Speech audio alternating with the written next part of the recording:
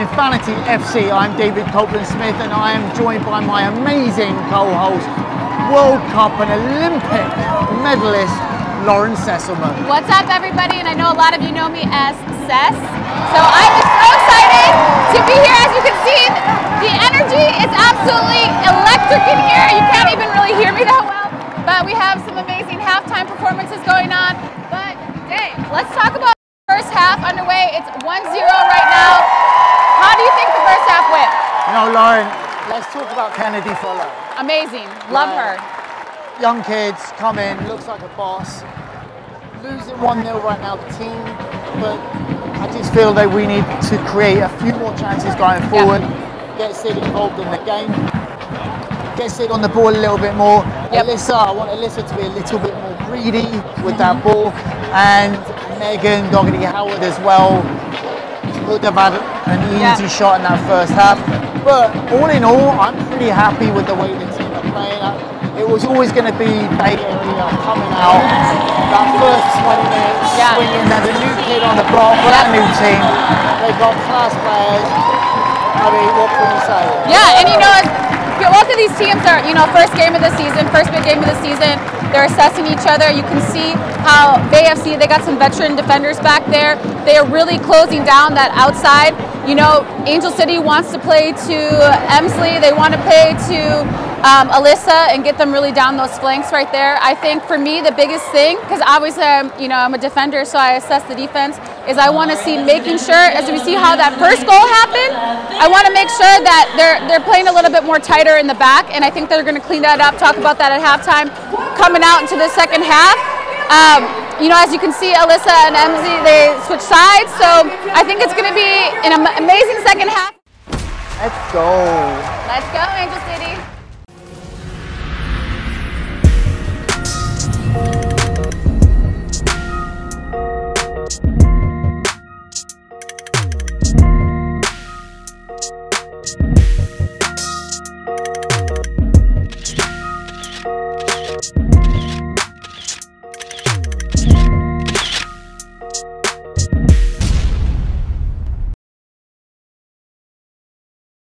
Profanity, Nation.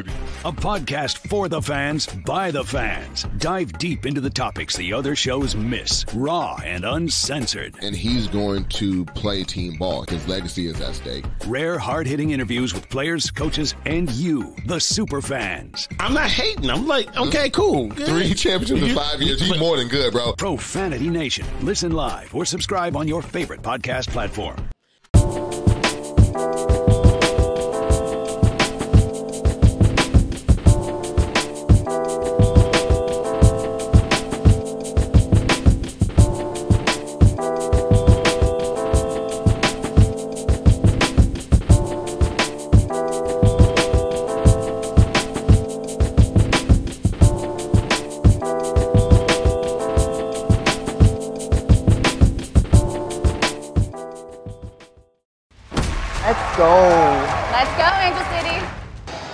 Okay guys, welcome back to BMO Stadium. Unfortunately, we didn't get the result that we wanted.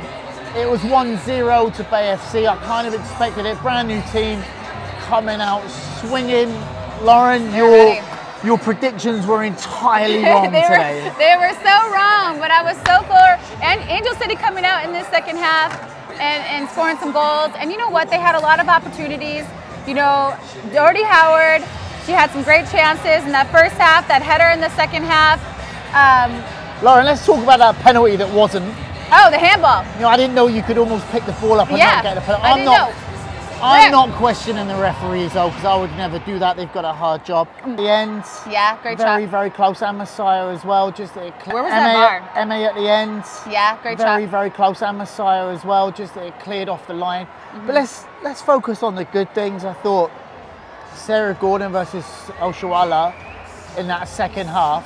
I love and you'd be surprised how long it took me to learn how to say Oshoala correctly because I didn't want to butcher it. Um, but you know, I'm so proud of Sarah because like that first half, obviously Oshoala got in and scored. This half, there was a very, you know, big moment where it's 50-50. Mm-hmm. Oshoala came through her, but Sarah stopped it. It was a free kick anyway, but she then she pretty much nullified her. Her and Yeah. Paige did really well. Other good things, Gisele Thompson Yep. coming on looked electric. So proud of her. Um, yeah, because you played with Gisele, didn't you? Mm-hmm. You'll find a lot of that. Everything we talk about, Laura's like, oh, I played against her because she's got a great career. Um, obviously, Gisele coming back and massive for the club. Merritt Mathias. Yes. coming back as well after injury. Just a little bit disappointed with the result, but again, silver linings because I'm that type of person. We had the chances. Yep. You know, we looked way more organised second half. We really Definitely. took it to them. Mm-hmm. Um, I think we I were mean- finding those gaps a little bit more. yes, yeah, I'm looking at my notes. I think BFC, they were getting tired. I think in the first half when they came out defensively, they were as a unit. And then you saw in the second half, Angel City really started to break them down. They were finding those gaps, those channels in between. And then bringing on the fresh legs. You have Merritt, you have Gisele, you have Messiah Bright coming in, you know, as a bright spot coming off the bench, I coming see at what you did then. Yeah. Messiah, bright spot Yeah, coming there off we the go, bench. there we go. And- She's not just a pretty face.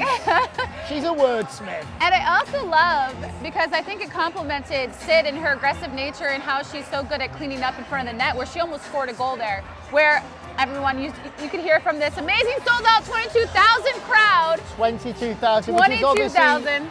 you know, the one thing the club does so well is fill this stadium. It's Yeah. a big stadium.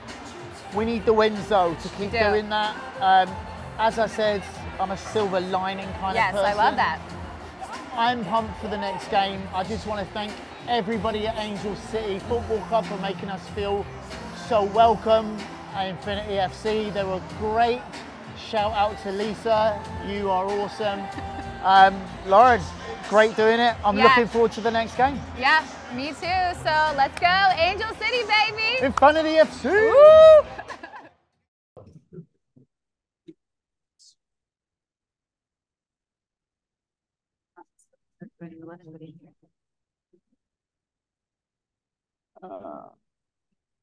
Okay. Who has a mic? Who has a question? No questions. Oh, Yeah. Karen. I guess. Hi. Yeah, sorry about the loss, but seeing seeing Kennedy out there, you know, seventeen years old, you know, what has she brought to this team in training? You know, on and off the field maturity, all of that, and just seeing her out there, what she brought to the team as well. What do you think? She was she was great. I forget that she's so young because I think she fits in so well. She deserved that start. Um, she just is so so good for her age, and I think it's incredible to be on the field with such young players um, and just know how much opportunity lies in, ahead of her and how long her career will be and how different her experience will be as a professional than you know we had when we started and it makes me really really proud. Um, and you know she came into a league where there are three teams in california and um, that's not something that i can say that i had so i'm really really proud of her. I know she's so close with her family and they're able to be at the game tonight um, and i just look forward to see her continue to develop and uh, she was close to putting it in the back of the net. So we'll see that on friday i hope. Absolutely, and then as captain, vice captain, what was your advice to her? Kind of Entering such a huge moment at such a young age. did you have any Um, words sarah I mean, for me, I didn't necessarily give her any advice. I just wanted to make sure she was good before the game, but I'm so impressed by how composed she's been through it all. Um, like Ellie said, I would never guess she's 17 years old. So super impressed by her, super proud of her, and I'm excited to see where her career goes. Hey guys, tough loss today, but at the end of the match, last fifteen minutes, it seems like you guys turned up the screws and were really executing in the, the final third. I think you had almost five shots on goal in the last eight minutes alone. Are there positive takeaways going into the next game about how you guys were able to perform at the end of the game? Yeah, I think there were a lot of positive takeaways. I mean, it sucks to lose at your home opener. It's not how you want to start the season, but there were definitely a lot of positive takeaways. We felt like the second half, we had a, created a lot of good chances. We moved the ball well. Um, and ultimately it didn't go our way today. Uh, this is the NWSL, you know, that's how it goes sometimes. But I think we are proud of where we can take this season and you know, we have room to grow, of course, but there are a lot of positive takeaways from tonight. I also think that we did change some things and and get a lot better after probably the first 35 minutes.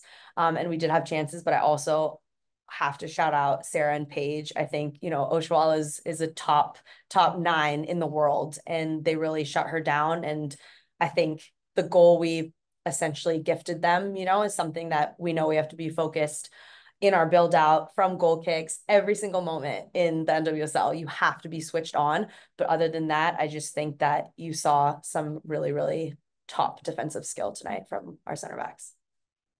Over here, oh, really question. Um, but I was going to speak to that, Sarah. Obviously, going against uh, Oshoala, a really big signing, uh, two-time Champions League winner. What was sort of your preparation for that, and uh, what went into your performance tonight? I mean, um, we obviously do. I'm someone who really likes to watch film on players and know how they are. So going into a game um, uh, with someone that hasn't been in the league is a little bit more difficult. Um, but obviously, film and scouting is a big part of it. But I think it was kind of nice going in with more question marks and not knowing what to expect because then you can kind of just get out of your frontal lobe, as I like to say, and play the game. Um, but she's an incredible player. Um, it was really enjoyable to go against her tonight. Thank you. Another question? Anybody else? Oh. Allie, I'm going to age myself um, here and ask you about uh, your FC Gold Pride coach. so you're aging, you're aging me too then.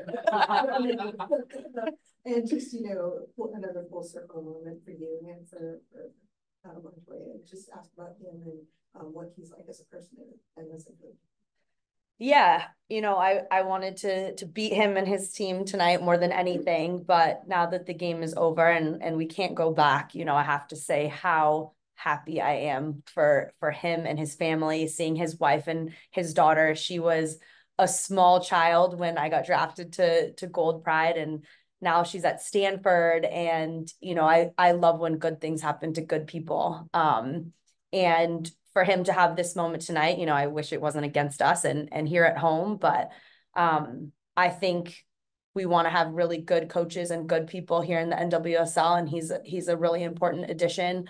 Um, someone who understands the game, someone who has a daughter and has raised her to be, you know, in this game as well. So um, it was just, you know, during the game, I didn't think about him being the coach, but after seeing him and being drafted to that team so long ago and having an amazing rookie season and just being able to think out how much the league obviously that league doesn't exist anymore but how much the game has changed in this country since then. And it makes me so happy. And you know i think we still have such a long way to go in women's sports but the only way we can keep going is if we celebrate the small wins and like to have this full circle moment see how well he's done remember the the FC Gold Pride. May she rest in peace. Um, it makes me really happy and really, really proud um, to still be playing and to to witness the growth of the game. Also, any more questions? Thanks. Thank you. Thanks. Let's go. Let's go, Angel City.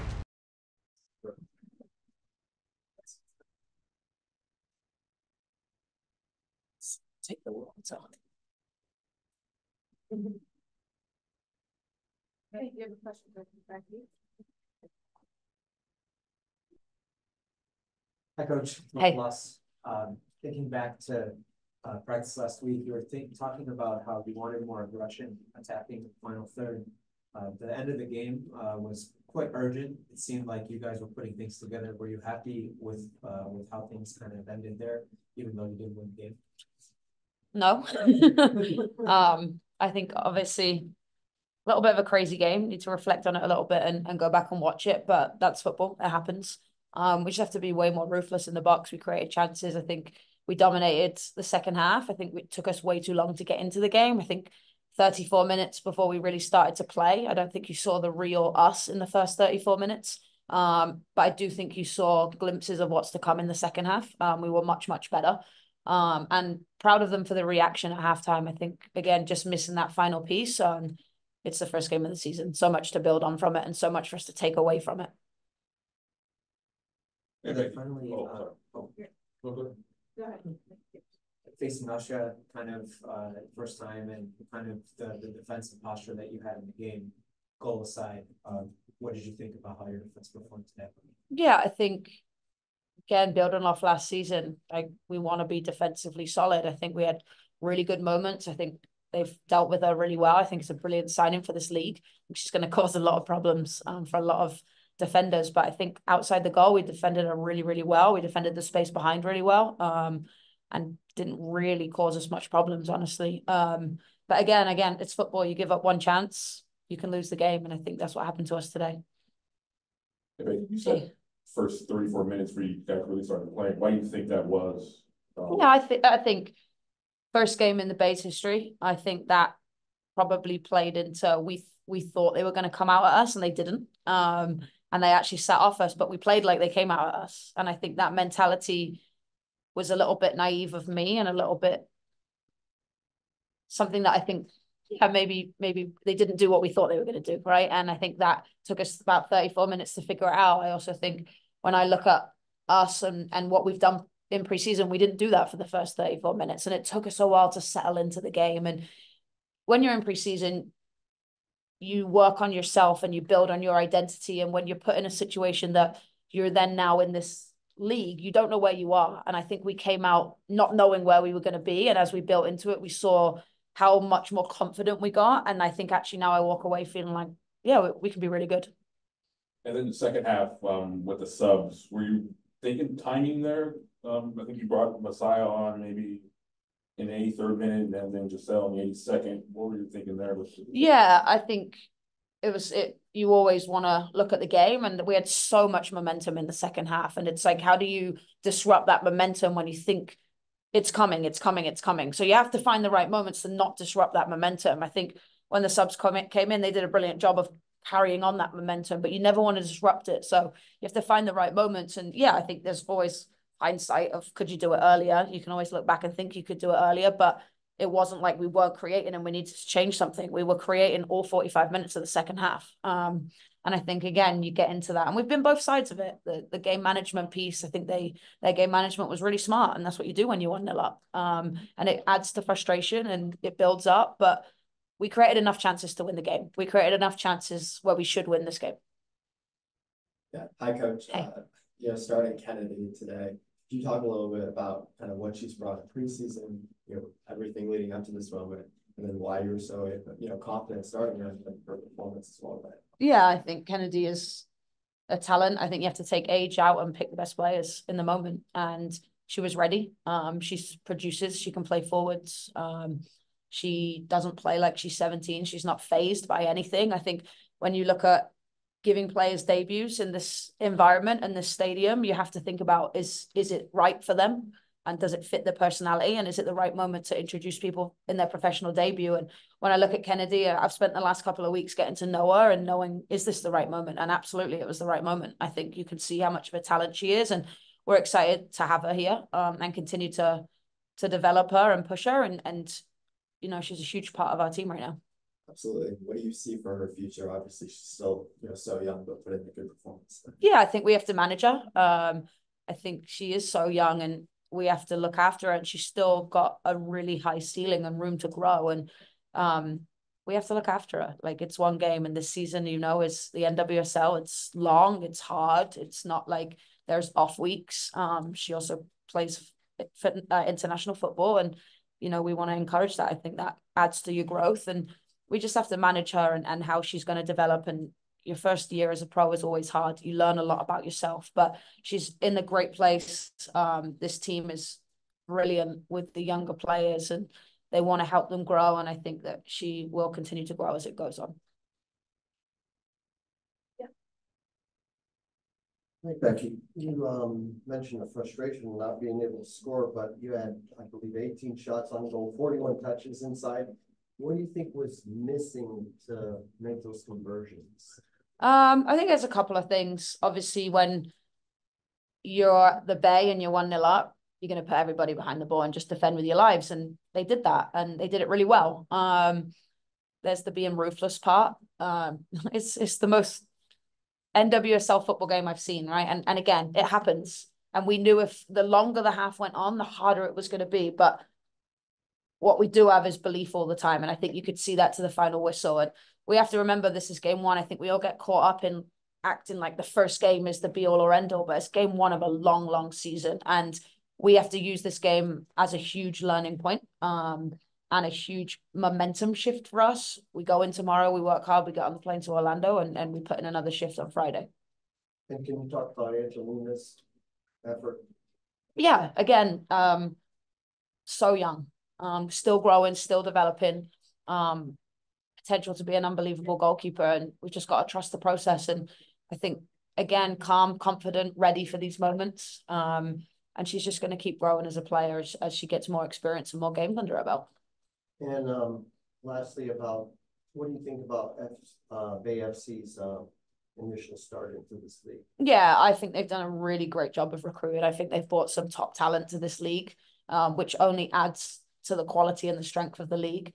Um, I think they have a clear identity and a style. I think they know how they want to play. I think today they came out and made it the occasion it was. Um, and you know, I think you have to say well done to them on this day, right? They came out with with three points, and um, I think it can only make this league again more competitive. You want these teams to come in and be competitive. We want our league to have 14 teams that you don't know who's going to win. Obviously, you always want it to fall your side.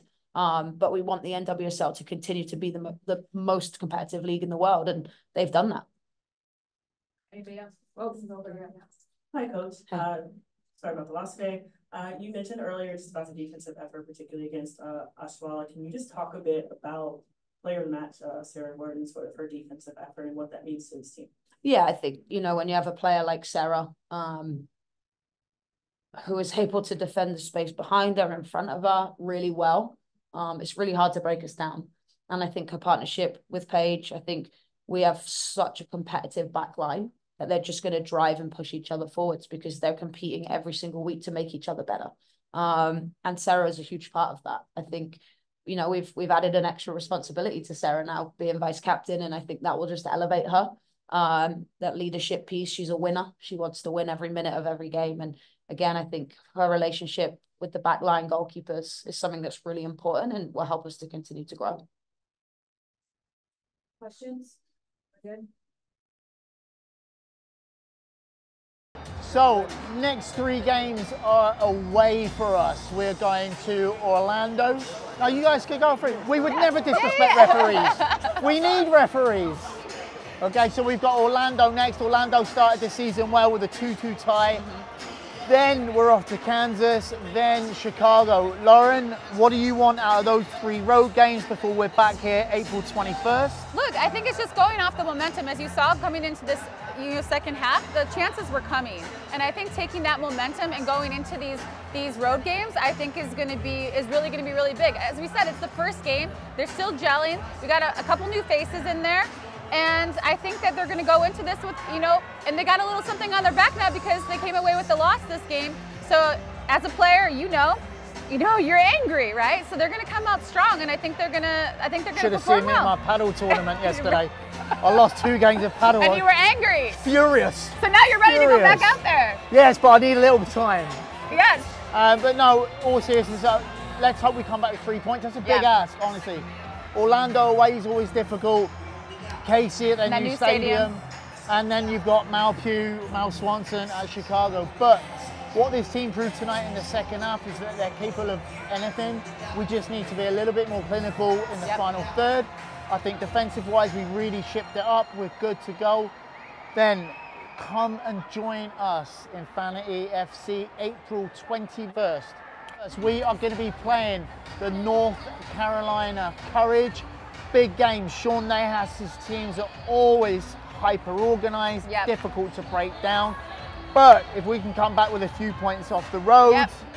what also, do you think, Lauren? Also, I want to see the same type of energy we had for this game back here at BMO Stadium at April 21st. Look for our street team. Yes, look you for our Infanity Street Time. free tickets from the Infanity FC street team. Yep.